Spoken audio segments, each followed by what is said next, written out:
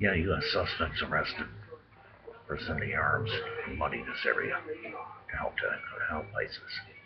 U.S. suspects are arrested over the internet intermediaries sending weapons and money to, to ISIS, to Syria. Sadness of human life. Really is. There's enough war going on here now without with more oil and more money. This has to stop. Has to stop. Somehow they have to stop this. Even if they have to regulate the internet. Which I'm sure they do. I'm sure they keep an eye on suspects. They're trying to ship money out, supplies to the military, to uh, places in Syria. This is sadness life. It really is.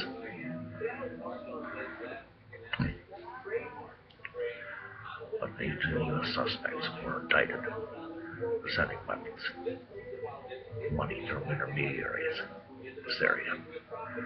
This is uh, a new start. Thank you for watching.